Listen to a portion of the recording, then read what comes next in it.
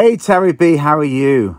I'm good, Mr. Chantrey. How are you? Very well, very well. It's a long time no speak. I know. Thank you for having me today. It's an exclusive. It's an exclusive interview because it's your first interview from your new album, Feminenergy, right? Feminenergy, yes, you're my first. Oh. I'm busting my cherry on Feminenergy. I like it. Wait.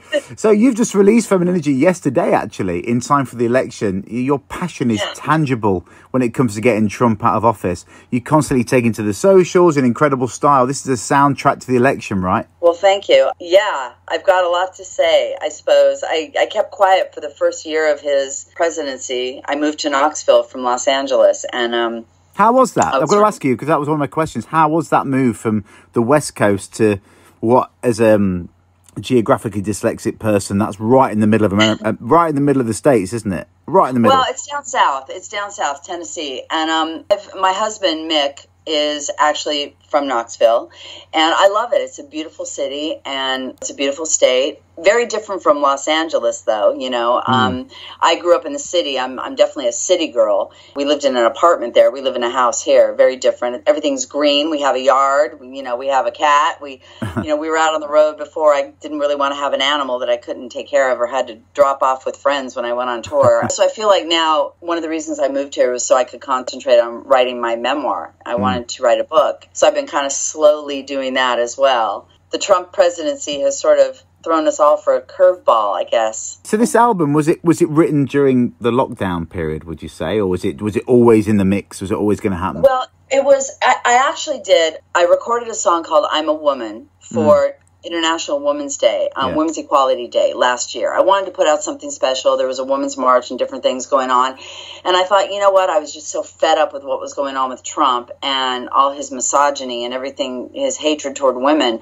I thought I got to do something. So I put this song out with a video. So yeah, it was sort of my fu to Trump. I decided I would start slowly writing my record, but honestly it's been it was a really difficult process. I we started working on the music mick and i mick and i produced it.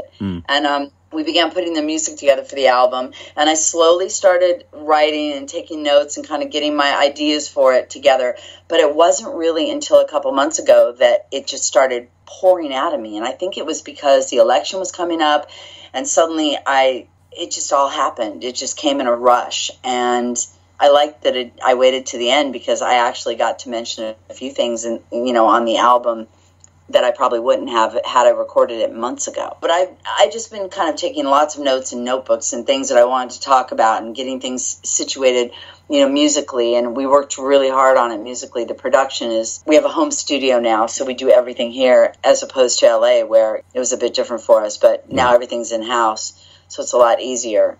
But yeah, it, it sort of came over the night before I released it. We were actually doing our final mix on American Really? Carnage, Really? putting our sa- yeah, putting our final samples in because I just I was so I'm I'm very much a perfectionist mm. and I I had these ideas of what I I'd been collecting so many samples and you know every single day this guy would say something crazier than the next and I'm just like my God maybe I need to put that in mm-hmm. you know and then at the end of the day Mick and I just kind of sat down and said look we got to get this going as far as like what's the theme going to be here for Yeah. this song and it just came together within minutes in the Mm. studio the night before i released it it was crazy That's cool. we were out driving around knoxville at three in the morning listening to the record in our car on the dark roads and just playing it and blasting it to our, we had the roads to ourselves and it was just such a surreal experience That's cool. it was so great So obviously your your last uh, hip hop album was in 2015 was called Vintage Yeah. Curses. You know, it, Right. did, it didn't have the rhetoric of this album. You know, it was it was it was what I would call BT. You know, before Trump, wasn't it? So yeah, so so it was definitely a different. It was more of a witchy sort Yeah. of a a West Coast vibe. Well, I wrote I, the reason I did it with the sort of witch vibe on it was because it in the hip hop world I had seen so many people talking about me from the past, saying, "Oh." Tairrie B's in like this satanic band now. She's into heavy metal. She worships the Satan. You know, she worships Satan, and she's like a heavy metal chick. And I thought, oh my god, they're this is what they think of me. It's hilarious. And I've always sort of had this witchy thing underneath. And, well, we'll come to the Halloween thing. We'll we'll come to the Halloween thing. Drawn I've yeah, and it's something I've been very drawn to, and you know, within my own life. And I thought, you know what, I'm gonna, how am I gonna come back? Because back in the '90s, kind of came out with this sort of gangsters mall female mob boss image, you Yeah. know, with NWA, and that was where I came from. And I thought, well, how am I going to come back? I can't really reinvigorate that. That's not who I am anymore. So um, I thought, well, I'm gonna I'm gonna come out with this, and I'll do a very dark album, and we'll sample some things that are more on the darker side, like we sampled Cliff Richard, Devil Woman, and Pentagram, Forever My Queen, and you know some things like that. So um, the Eagles, Witchy Woman, and we just made it sort of a. I mean, I'm 55. I was 50 when I pushed. I put that record out. I just turned 50, and I thought, Crazy. well, I'm going to embrace it. I'll call myself a crone. Beware the crone. You know, this is who I am. I'm not going to lie about my age. Everybody knows. Well, I've got to come to that as well because I, I can't believe how well you look. You know, you look great. You know, you you do not age. You, Oh, thank you. I appreciate that. But you know, there's a lot of women in in. I feel that in the rock world and the hip hop world, men can always say how old they are, and they're respected, Mm. Yeah, and they're yeah. embraced, and they're, no one has a problem with it. But when a woman talks about her age, it is just horrifying. Mm. To people, and I thought, you know what? I've never hid my age. I mean, I've had band members in the past, female band members in the early days of my ruin, that said to me, "Why do you tell everybody how old you are? You shouldn't." T-. And I'm like, "Because I don't give a shit. yeah, yeah, yeah. This is who I am. Yeah, I'm not going to lie about who I am. Exactly. And if, if any With- genre, with- if any genre can get away with it, it's it's it's the metal genre can get away with not announcing or not not caring about how old you are. I don't know. I mean, you know, it's it, it is a weird thing, though. I mean, you know, people embrace Robb Flynn and Phil Anselmo and Henry Rollins and all these people, but when it comes to women, I've had a lot of people from prominent magazines, journalists, try to throw my age in my face, try to throw my hip hop really? past in my face, and I'm just like, listen, I am who I am. I'm not Mm. going to sit here and and talk about metal and say I hate hip hop because I'm screaming. I I have two sides to myself. Yeah, you know, there is definitely the side of me that has the soul in heavy metal and I'm a scream queen. Mm. Yeah. And then there's the other side of me where I'm a straight up rap chick. I love hip hop and Which- that which- is where I which, came from. which goes to the question I was going to ask, which is why did you turn to hip hop to shout the system down and not metal? I think because I just felt I don't know it, it was weird. We we put our last album out for My Ruin in 2013. We put out um, the Sacred Mood, and we did our last touring off that and played shows off that. I felt very disheartened. I was just I started growing a little bit disheartened with the whole metal community. I love to scream. I love being on stage with my band. It's, it's my baby with my husband. You know, we've mm. done nine albums now, Yeah. and I absolutely love it. What I don't love about the heavy metal world is all the politics behind the scenes. Mm. The promoters, the record mm. labels, the the press people, the the type of person where I want to get shit done and I'm outspoken and I think that I a lot of people had issues with me because I speak my mind. We worked with people that were really sleazy. I hate to say that, but Yeah. a few promoters and different people that were just not good people Yeah. and they you know they did some really things and uh, it just I, I lost heart when you when you're working on a lot of things I think you know it was easy for the guys in my band especially my husband you know he does the music he gets on stage he plays guitar and he's he's awesome and everybody loves him and we always joke like we play good cop bad cop I'm the bad cop and I have to do I have to deal with all the other stuff and then by the time it comes to me getting on stage I can't I feel like I'm so stressed out from everything else that I can't even enjoy myself. And when it got to that point, I just thought, you know what? I need a break from this. Mm. I just need a break. I need to do something that makes me happy again. And hip hop, it just makes me happy. It just there's something about. I'm not saying I'm never going to do another metal record. I mean, I did Teenage Time Killers and did a. I was part of that project with Mick.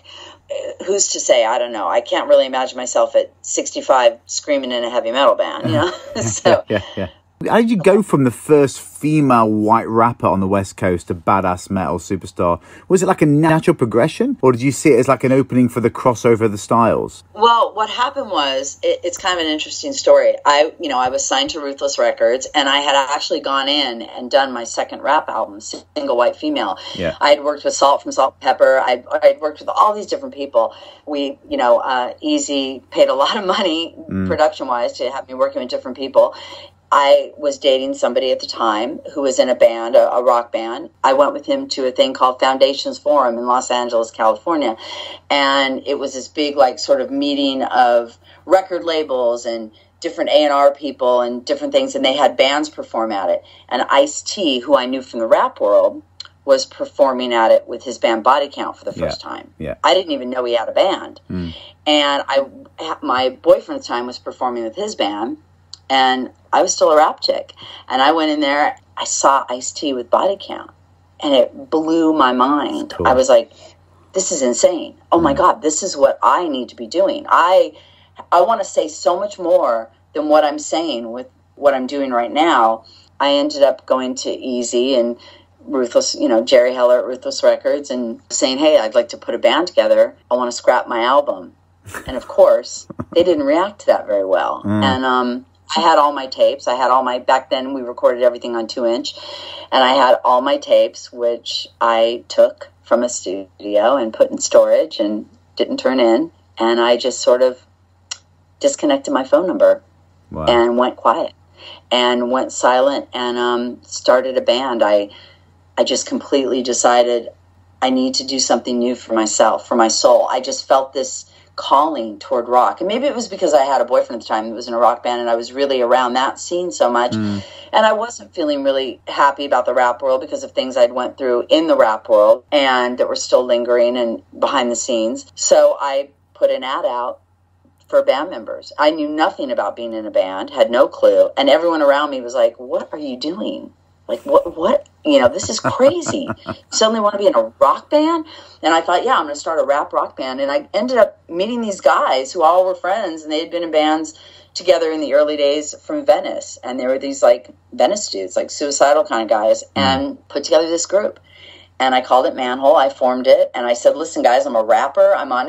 I'm signed to Eazy-E's label right now. I don't even know if I can get another record deal. I don't know what. Eventually, it all worked out. You know, it, it's a crazy story. I'm going to tell in my book about how it all went down. But um, yeah, I I kind of put it all together and just started playing the LA club circuit and building a following and really paying my dues. You know, which I needed to do. So, so being in a female-fronted band, was it about you, or was it about the band? Obviously, you had all the coverage in the magazines and the front covers and the Yeah. centerfolds like Kerrang and Metal Hammer, and these things.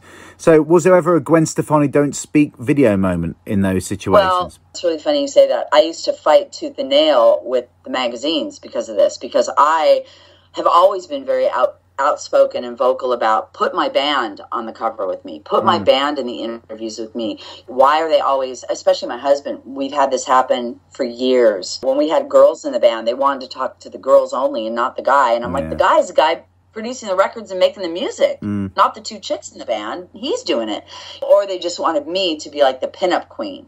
They would sit and interview me, not not to blast on Kerrang or Metal Hammer or Rock Sound because they've always given me press, but it was always like, we're going to give you the cover. We're going to do these big photo shoots with you, but we want to talk about who you're dating. We want to talk about your makeup, mm-hmm. your clothing. Mm-hmm. Like, you, to talk shit about somebody that you don't like. Mm-hmm. It was always trying to get me to the point where I would just say something awful. And I just got to the point where I was sick of it. So I'd kind of fuck around and play, you know, we'd do shows and they'd say, You got an interview after a show. And I'd be like, Oh, God, I'd have a drink and just sort of talk shit. And I just got fed up with it all. And they, they wouldn't, you know, I know the Gwen Stefani thing, what happened with her.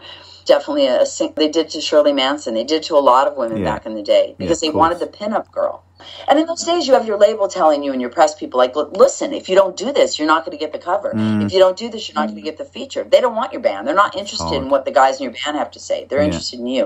And I always found that weird, but I always found it weird that, well, why don't you ask me about my lyrics? Why don't you ask me about my music? Yeah, Instead, you're asking me these really sort of fluff questions that who cares? Mm.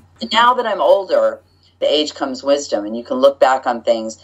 Now I know. Well, I'm not going to talk about those things. I'm those things don't interest me. You want to talk about my lyrics? Cool. yeah. I'm not desperate to do interviews. Mm. So I appreciate that. yeah.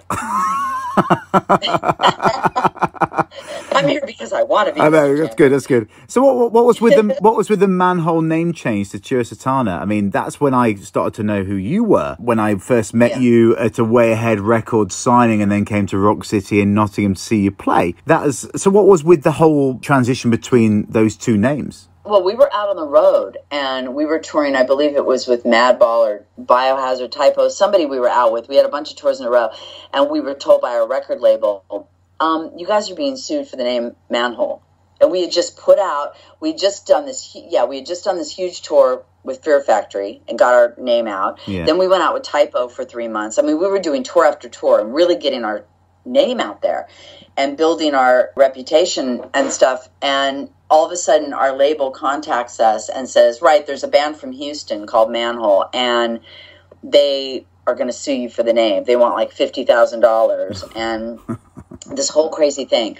And um, we're like, what? And we're in the middle of a tour, so we're like cross country, and and we don't know that they're they're trying to bring the record label to court, and I don't know what all went down. Our our lawyer didn't handle it right. Our manager didn't handle it right. We trusted people to handle things, which we shouldn't have, and basically we had to give up the name hmm. instead of fight for it. And it was some punk rock garage band that literally had nothing out, but they heard about us and they had maybe a single out the year before, like just a, you know, a, a little 45 or something. And they decided they were going to try to sue us. And it, it became this just big nightmare. And so we had to change our name and we were getting ready to do a second record. And it was just, uh, it was just, to me, the momentum that really killed our momentum sure. and hurt the band.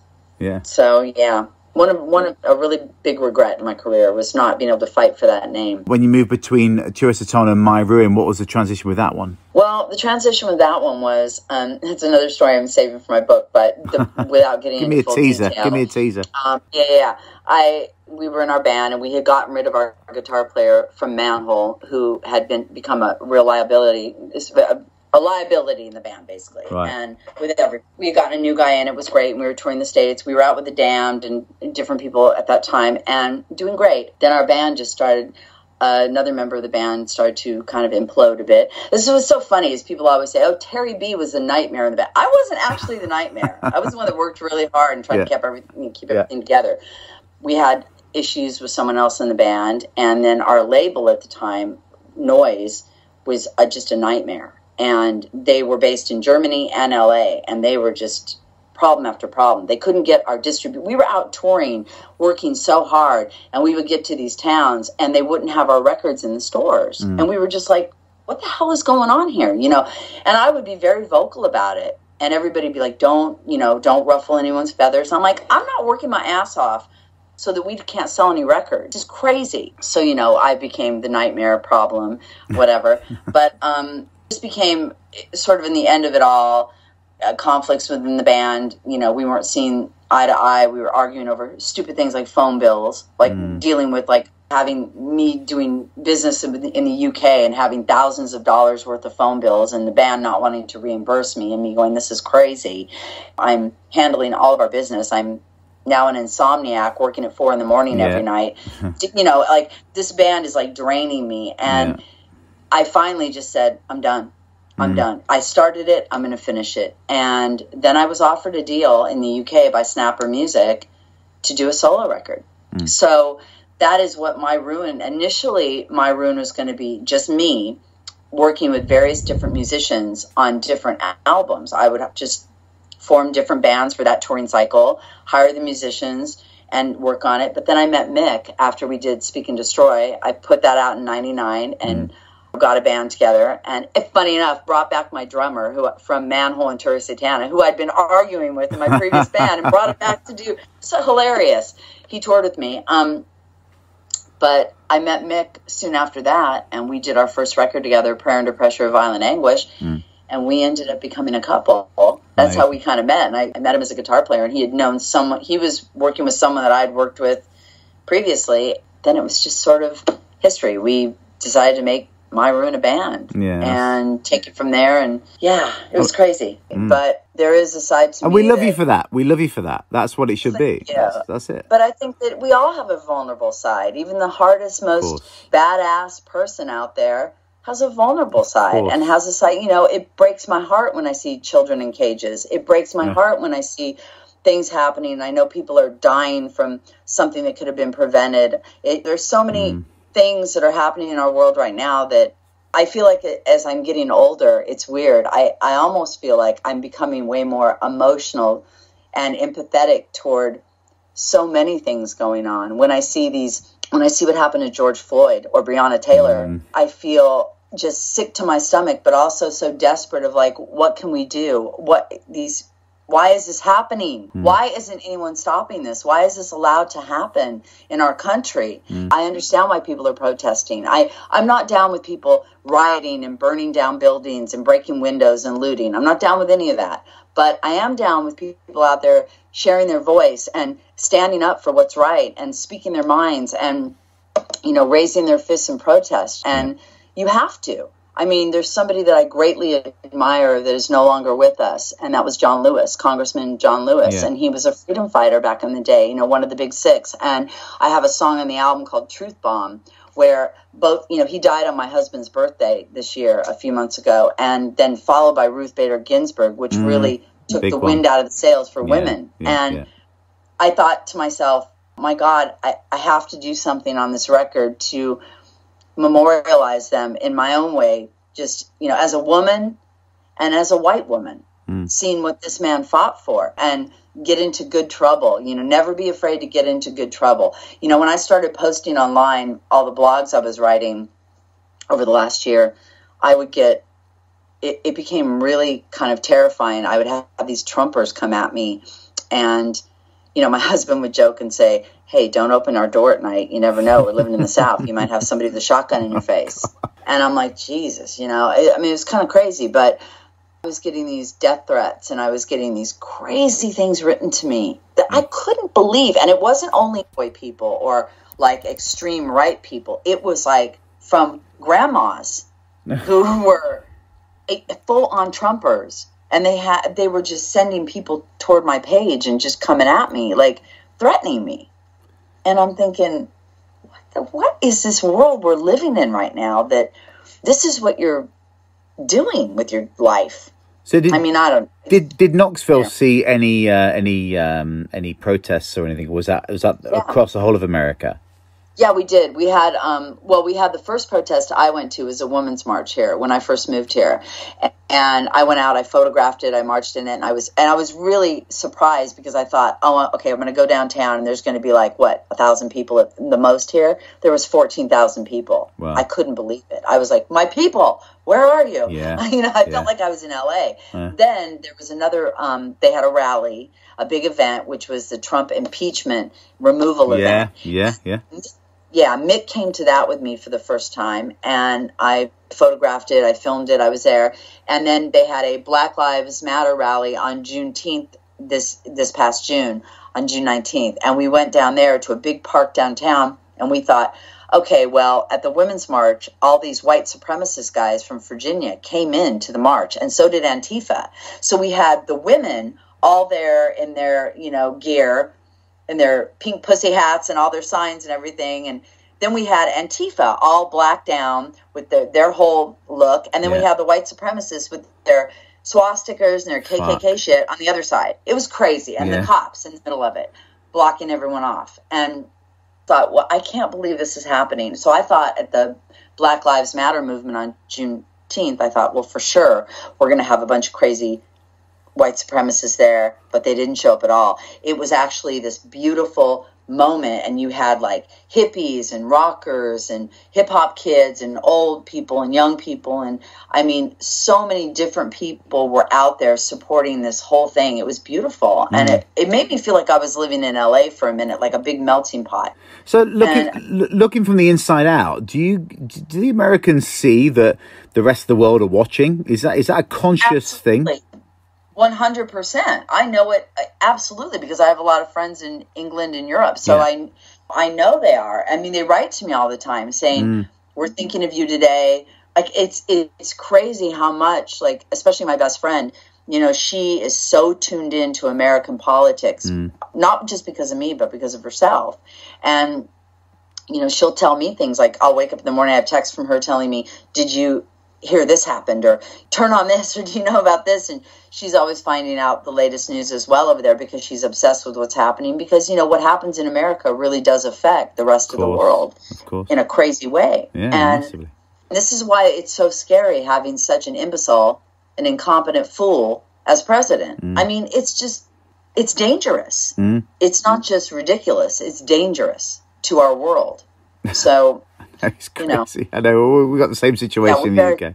You know, Yeah, we definitely know. I mean, I'm very, you know, cognizant Conscious. of what's going on and conscious of that the world knows. what's day to day like in the Murphy household? It, it must be a creative buzz twenty four seven, right? Well, we have a home studio and Yeah, exactly. downstairs. So mm, we're all, you know, Mick is always working on some sort of music. I have my studio as well. I have a little art studio where I film stuff in and I, I'm doing photography now and I've been working on my book. So, you know, we just have a lot of different things we're always working on. But we also have a house now where we can actually work in our yard, do things that we couldn't do. I didn't know I had a green thumb.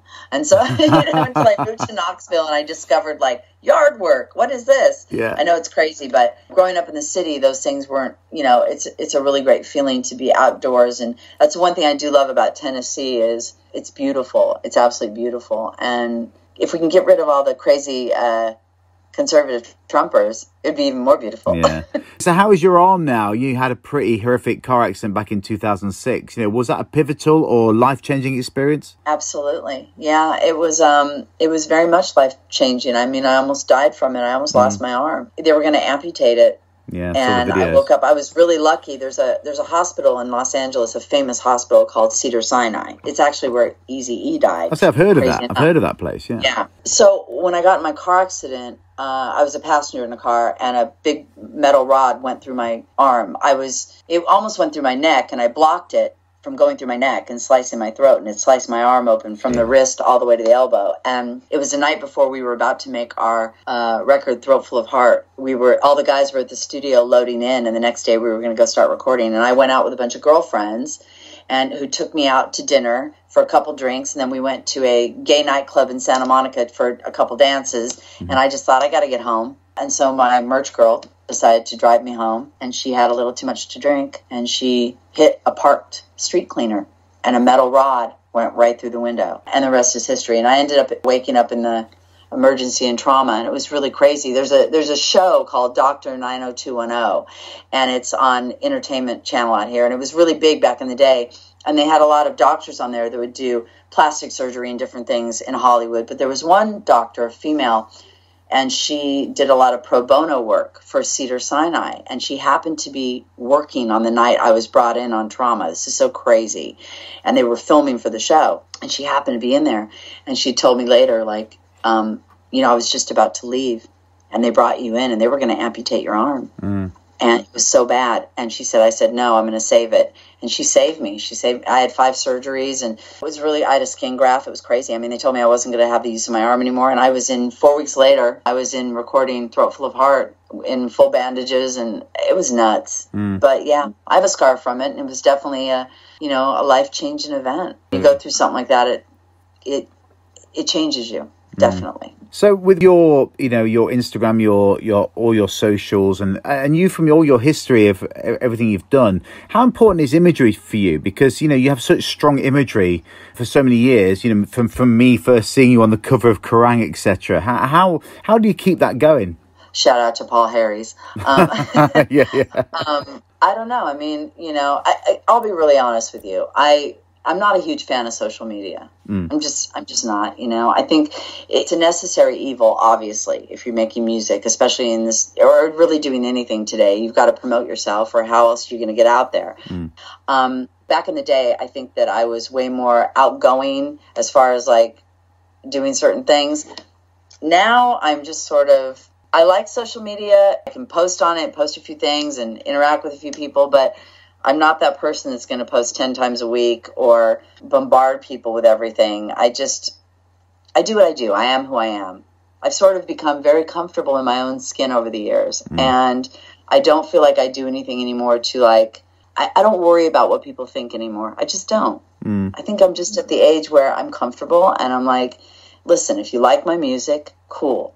Download it free. I'm, I'm giving it away free. If you choose to donate, cool. If you don't, if if you don't want to or you can't afford it or whatever the reason, that's okay too. I make music for me. I make it for my art mm. and it's my therapy. I don't worry about what a label's telling me to do anymore or some some idiot press person that like tells me they that I'm working with that I better do this, this and that and talk to people I don't want to talk to that I know are rude assholes that are going to write nasty things about me, but I've got to do an interview with them because they're from a certain magazine. Yeah. F that. I don't mm. really care anymore. I want to talk to people that I enjoy talking to at this point. I don't know. It's just the world is in a different place right now. I mean, we're we're in a global pandemic where to me there are so many bigger things going on in this world right now. And honestly, you know, we lost our brother. Mick lost his brother in 2005. I mean 2015, I'm sorry. Um, it happened very sudden and it was life changing as well. Like, my God, we just spoke to him and now he's gone. And mm-hmm. like, we can all just, you really don't think about it until you lose somebody close to you that it can all be gone in a minute. Yeah, And what is the bigger picture? You know, we don't have kids, Mick and I. I don't have any sisters or brothers. I know that what I'm leaving behind, my legacy is really going to be my music. Mm. That's it. Mm. I'm really proud of what I do. So your you know, music. So let's just. I've got a question here. Is pertinent right to this moment now. So, are you known for metal or hip hop?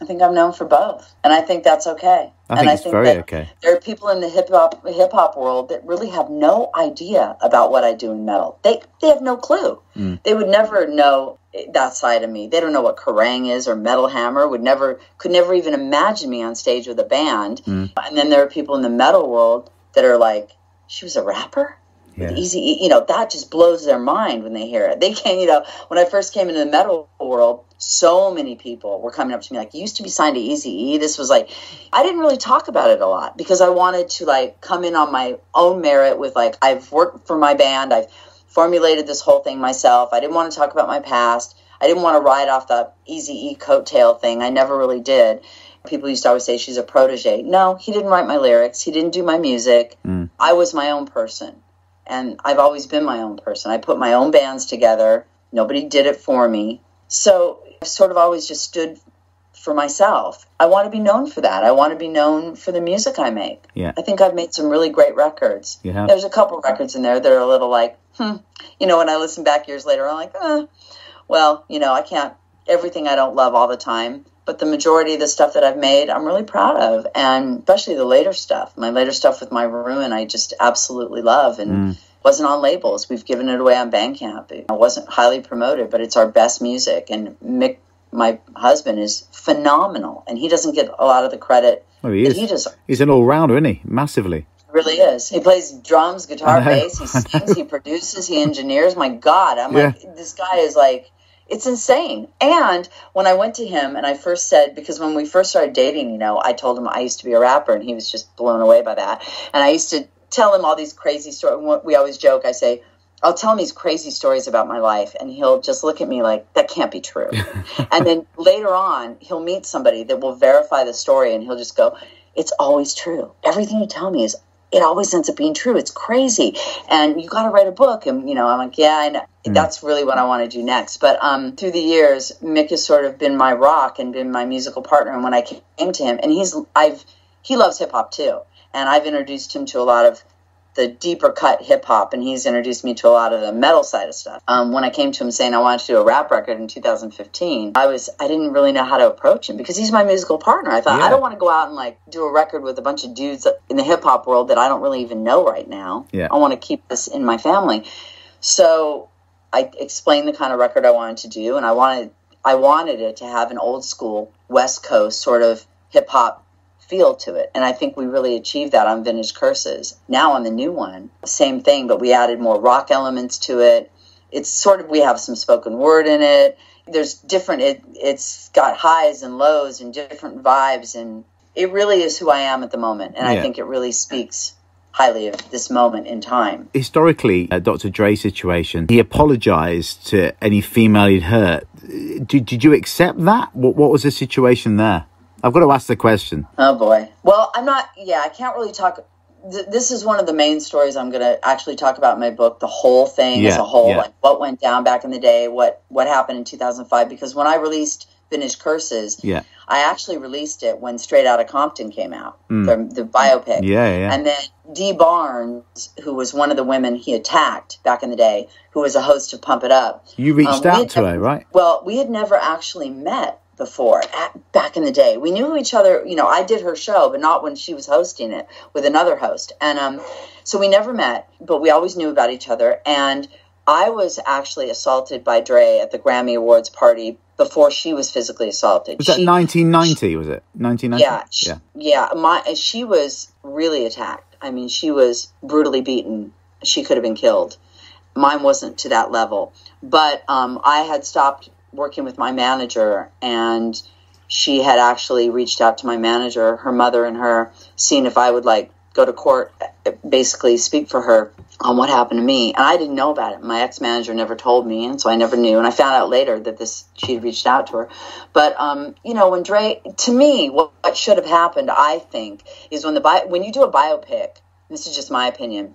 You need to come clean. You need to be real. You need to hmm. address the reality of who you are and your story. And to me, I think that they really made Eazy look a certain way in that movie that he wasn't. A lot of people were upset by that. I think he was portrayed in a different way than what he was. Hmm. And I also believe that Dre and Cube wanted to portray themselves in a certain way that they weren't wholeheartedly through the Cool. movie. Yeah, I can. And I can see why they want to do that. Yeah. Right. Dre should have addressed the fact that he had a problem with women. He was very abusive to his girlfriend at the time, his label mate, myself, you know, and this host of this hip hop TV show.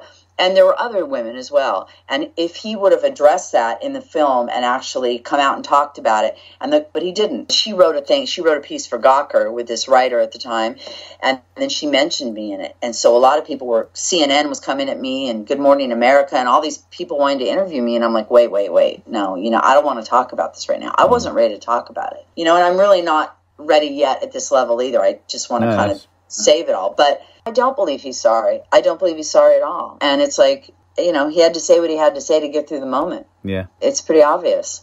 I Dre, Dre- Dre's a misogynist. I mean, let's just be honest. Mm. No, I can see that. I can totally see that. That's what that's what a lot of hip hop is. There's very sel- very few men in hip hop that I really believe are good men. You know, Chuck D, Paris. You know, there are certain men out there that are have always stood their ground and been you know respectful of women and had a great political message and had fought for things that were right. Dr. Dre wasn't one of those people.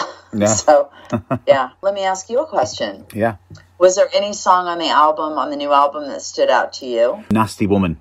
We love that. We- one we of my love it. We love it. Absolutely love it. And it's because it, drops all the big hitters in there. It's just it's just Yeah. so it, you know with Kamala Harris and everything is in there. That was Yeah. just like so good. But what I did like, which uh, which took me by surprise a little bit, was um World. What's it? World. World Destruction. Yes. Yes. Yeah. Well, you know what's funny about that song is that it, for those who don't know or those that do that are listening, World Destruction was a song done in 1984 by a group called, they called themselves Time Zone, which was Afrika Bambaataa, who is one of the architects of hip hop from Right, back in okay. the 70s. Yeah. Okay. and um, he, he, you know, down with Zulu Nation, and it was also done by John Lydon, Johnny Rotten from Yeah, the Sex yeah, Pistols. yeah, yeah. yeah. So, um, He was you know, letting himself down loved- recently. Yeah, I know. Oh God, it's not, oh, yeah, we'll get into that. In a second. do that. Um, I didn't find that out until after I recorded the song, by the way. Um, so I've always loved that song, and I've always thought to myself, God, I want to cover that one day. But it was never the right, you know, my ruin. It wasn't right for it. My other rap record, it didn't make sense. And so I happened to hear it a couple months ago, and I thought, God, that would just be great to do. So I brought it to Mick, and I said, What if we redid this? And you did it super heavy, and I changed some of the li- I well, the lyrics that John Lydon says in it are today relevant. They're perfect. Hmm. So they didn't need to be changed, not one word. But the lyrics that Afrika Bambaataa said, you know, I'm not religious, and he talked about religion. He also talked about like the Islamic force and different things that like I don't relate to. So I thought, well, I'm gonna I'm gonna sit this down and rework it and bring it into like what we're dealing with now with police brutality and COVID and MAGA and like all the things that are kind of affecting. I mean, they affect us, but they really affect the world on some levels. And um, the overall message of it. So I changed it, and I thought, who could I sing this with that would be good? And then I thought, oh man, I used to go on. I brought this band on tour back in the day called Murder One, and one of the singers, Paul Catten, still good friends with him. I brought his bad band Barabbas out, Lazarus Black Star. He has a new band called Dead Sharon, a new project he's doing, and we're still good friends. So I approached him, and he is he is like the nowadays John Lydon over there, Yeah. very much so, mm. and underground sort of culty guy. And I brought the idea to him, and he was like, "Absolutely, let's do it." And I sent him the track, and he sent it back in a day, and he had his vote. I mean, it was amazing. I was like, "Hell yeah!" So that's probably going to be a video. Um, That's cool. but yeah, it's great. And so we had good fun doing that. And I think it's, I think the message, it kicks off the record in a, in a great way too, because I think it really sort of gets that alarm bell going of there's an alarm, this is what's happening. You know what I mean? Yeah. And now we're going to kick into the record. Yeah, of course, But, of course. But Nasty Woman is definitely one of my favorites as it. well. And I, can you put, what about that Trump sample? Oh, it's, Very, very nasty. It's hilarious. it's absolutely it couldn't be better. I mean, you obviously wrote it around that, right? No, I well, I, I wrote it because the reason I wrote the song. I mean, obviously he had called Hillary Clinton a nasty. Yeah, she was yeah. very nasty. Yeah. But the reason I wrote the song, I had already recorded um, "Raised Up Fist," which has got that big intro of him just brutalizing different women, saying all those disgusting, disparaging things about women. And you know, you know, we all know that he says terrible things about women. Hmm. But I thought I'm going to take this and put all these clips together and really put the impact in and make people go, "Holy shit! Listen to this!" Which Yeah. is when you hear it all together, the, it's so impactful. Of this is the American president saying this. This is crazy. And then at the end, he says. No one has more respect for women than Donald Trump. And it's like, you got to be kidding me. You know, you're just talking about punishing women for abortion, and then you say that. So I have him like calling out reporters during it and different things. Um, but he, when Kamala Harris was introduced as or announced as Joe Biden's running mate, the first thing that Donald Trump did was call her nasty Yeah. because of what she did with the hearings with Brett Kavanaugh. Try, you know, when he was put on the Supreme mm. Court, mm. and so he talked about how nasty she was because this is his go-to phrase with women that he's, you know, intimidated by. So there's something just clicked in me. You know, at that moment, I thought, I can't believe no one has done a song called "Nasty Woman." How is this possible? And then I remembered Betty Davis, Miles Davis's ex-wife, not mm. the actress. Betty Davis, the awesome actress, but the funk singer. She did Nasty Gal back in the day, and I thought, okay, she did Nasty Gal. I'm going to do Nasty Woman. I'm going to bring this in, and I'm going to shout out AOC, and I'm going to shout out, you know, Pelosi and Maxine Waters and all the women that Trump goes after, and I'm going to do. I'm going to use his own words against him in this, and kind of make it the way I made it. And it just became sort of like this little anthem that I absolutely love it. It's one of my favorite things I've ever recorded. Yeah, it's great. You know what's so crazy? When I released my record on Tuesday, I had no idea about this. It was Kamala Harris's birthday. Really? And I didn't even know it. And it was later, it was about 11 o'clock at night, and somebody wrote me and said, I can't believe you wrote or you released your birthday, uh, your record on Kamala Harris's birthday. That's so cool. And I thought, what? And the night before, she had done a rally and she was out in the rain, kind of sing or dancing at this rally in Florida. And I posted a photo of her on my Instagram in the rain with what she Yeah, wrote. I saw it. I saw And it. I didn't even know it was her birthday. And then I just thought, how weird though, subconsciously, something drew me to that date. And I thought that was just really let's cool. let's hope you know? it means something. Well, let's hope so. So let's I'm, let's, I'm, I'm hoping. I love Kamala Harris. I want her to be. I want Oh. her to be the first woman president. uh, So, that and um Elizabeth Warren, no no no no no. AOC. Yes, yeah, yeah. She's amazing. She's Amazing. amazing. So what's Halloween like in the Murphy household? You know, do you, do you guys celebrate? Well, I think every day is sort of Halloween here, but um, this year we're not. We're going. We're actually going out to vote uh, this weekend and go to a pumpkin patch because I I, I want to get a pumpkin. It's more of like every day is Halloween here, sort of thing. Do you live in It's a just part of our life, I guess. really? We're yeah, we don't celebrate Easter. We definitely celebrate Halloween. No, absolutely same here. So, what's your favorite Halloween film? You know, do you scare easily? You can't. Don't disappoint me. You I can't. do. Yeah, I- you know no, no, no, no. No, no, no. I, I tell you, my I have two favorite movies, and one is an OG movie, and it's The Omen one. I it's it is t- timeless. You know what I mean? I mean, when I was a child, I went to see The Exorcist. My mom took me to see it when I Oh, was I 13. know that, that. That's me as well. That's me. terrified. Oh, but when me. you look at The Exorcist now, it's hilarious. You Mm. can't even. It's it's laughable. But The Omen is true. Like it's it's true to form of like still scary. You know what I mean? It still holds up to that timeless scare factor because it's all cerebral and it's it's very mental scary. Mm. Um, I also really like there's a there's a movie I love. I can't remember what year it came out, but it was called. It's a black and white film. It's from ages ago, maybe the 50s or 60s, maybe even Night of the Night of the Hunter. You ever hear that? No, I don't, don't know it. I don't know it, but I'll check it out. it's Robert Mitchum. He plays a, a like a scary killer reverend in it, and it's he targets women and it's just this sick, weird. Um, Charles Laughton directed it, and the whole thing is filmed in this black and white, eerie, creepy. You just got to check it out. It's mm. really scary. I'm really surprised that no one's ever remade it because it's a it's a good. It holds a, you know stands a test of time in the scared department. So it's only creepy. it's all big into zombies and shit like that. No, no, nor, nor me. But it's any scary film that gets you like, nah, I can't watch that. I'm not going to watch that again. Not really. No, same. So this weekend we have Halloween, followed by the big election on Tuesday. Which one is more scary? Well, the election, of course. what? I so- mean, Halloween, you can cut a, you can carve a pumpkin as Trump. The election, we've got a pumpkin, we've got Trumpkin. So it's, it's, a very big difference. Yeah. So what's going to to? So what's what's going to happen in the election if Biden wins? Will Trump disappear? And if Trump wins, then what's next? Well, we are asking ourselves that question every day here because we've got we've got a president right now. And i call this out in my song american carnage at the very end. I have him saying this. They a reporter asks him are you willing to accept a peaceful transition no matter what the outcome? And basically if you don't win and he says in it the only way i'm going to accept it is if i win. And he's threatening this right now and he's basically calling out militias I think what he's trying to do is he's trying to get these militias, these Proud Boys, and these white supremacist mm. groups, and all these different people to be on his side. We don't know what he's going to do. We don't know what he's capable of. He's going to have the White House and the power until January 20th.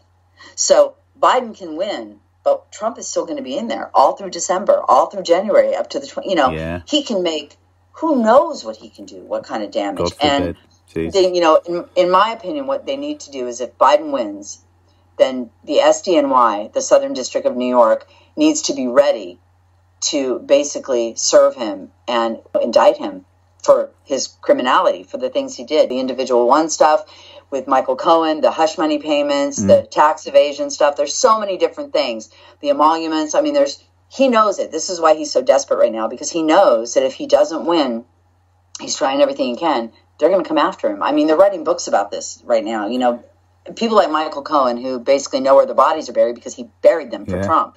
So it's he he's got to win or else. What is he gonna? What's going to happen? But if he does win, this is the other problem we're dealing with. What is going to happen to our country? So What's going to happen to the world? From a, from an Englishman's point of view, could he ever go to prison?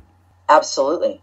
Uh, not as president, he can't. No, no, not as president, no, but afterwards. He has to be out. That is the thing. And the other thing is, he ha- they have to be ready, in my opinion, to go to indict him. Like he's not going to do a peaceful handover to Biden. You're not no. going to see what happened with Obama handing no. the you know keys to the White House basically to them and and shaking their hands and inviting them in. That's not going to happen with the Bidens. Mm. This has gone too crazy. So you know, it is. He's not going to be at the inauguration. He's going to call it all fake. He's going to say it was all rigged. He ha- Biden has to win right now by such an overwhelming amount yeah. that it is undisputable. And right now, people are coming out in droves vote, voting. Mm. I mean, if all the people in this country would come out and vote that never voted before, all the young people, the the Mexicans, the mm. the women, the uh, black people, like people that not necessarily haven't voted. I'm so pissed off about the Kanye West thing because the Republicans backed him with that to get yeah. him on the ballot because in their eyes, that's going to take away from Biden mm. the the black vote. That if they don't want Trump and they don't want the other white man, they'll vote for the black guy, mm. which is ridiculous. Mm. Who the hell would vote for Kanye West? But they'll people do think like that. Like I'm not going to vote for the old white guy, and and I get that, but it's a dead vote, I mean, isn't it? Ridiculous. It's a dead vote. It's just ridiculous. Yeah, yeah it's ridiculous. So is is is Trump a, a true Christian? Absolutely not. I mean, would you think that in any way? He doesn't even. Yeah, I. I mean, I've seen interviews with this guy. Listen, I'm not religious, but I know the Bible. I know a few religious books, and you ask him. I, you see these evangelicals or different people ask him, recite your favorite passage from the Bible. He's like, I like them all. When someone says I like them all, it's like saying to him, "What's your favorite song on the new record?" I like it all. Mm. You didn't listen to it, did you? Yeah, you didn't read yeah, it. Cool. You know, it's like he can't even recite anything. It's all just he's an authentic fake so, what do you think to rappers such as Ice Cube, 50 Cent, and Kanye telling their fans to vote Trump? Well, I don't think that Ice Cube is actually telling his fans to vote Trump. Um, I think 50 Cent may be, and I think that Kanye now wants people to vote for him. So, you yeah. know, he went from Trump, Trump, Trump, looking like a sucker to that. I don't, Ice Cube is a great rapper, and I'm a fan of his rap, fan of his music, and I've always been. But I mean, what he pulled recently was absolutely the stupidest stunt he could have pulled. Really naive. I, I mean, I tweeted him and I, I, I wrote, Trump is Jerry Heller on steroids. I mean, you thought Jerry Heller was terrible from Ruthless. This guy's him on steroids, literally, from the COVID. But it's just, to me, I look at people like that and I think, well, they're only concerned about their money. These guys mm. are making millions. They're trying to pretend like they care about like people living in the ghetto and the conditions mm. of this and that. Listen, you're a millionaire in your million dollar mansion. You don't care about these people. What you care about is protecting your effing money. People like Paris and Chuck D, those are the people that care about people. Mm. Those are the people that are coming out, putting stuff back into their communities. And those are the people that are actually coming out with a new record with a message. What Ice Cube was singing Arrest the President last year. This year he's saying, let me get in bed with the president. I don't think so. Mm. I don't think so. Mm. So to me, I mean, I'm a white girl rapper. My record is coming out saying saying what Ice Cube should be saying on some songs. You know what I mean? Mm, to me, yeah, absolutely. It's a disappointment. It's disheartening to see that. It's really disappointing. I would like people that I mean, I, would like to say the people that know me from the metal world, my bands, and from Manhole, Tura Satana, My Ruin. Even if you're not a fan of hip hop, give this a little listen. There might be something on it for for you to enjoy. So uh, socially what, conscious. It's brilliant. Thank you. I really appreciate it. It's it's a very weird thing for me because you know I I do know that I am way more known in the rock world, and people are approaching me with rock stuff right now, and I'm like, but I'm doing a hip hop record, so we have to talk about that because that's what this is. So it, it is a weird thing for me, but I love that you approached me, and I I've enjoyed myself talking to you. It's been great. Like I said, this was a great way to sort of bust my cherry for the new record, and so to put it. I appreciate it. I appreciate you taking the time to speak with me. Tairrie B, okay. thank you so much for joining me on the show today. Thank you for having me.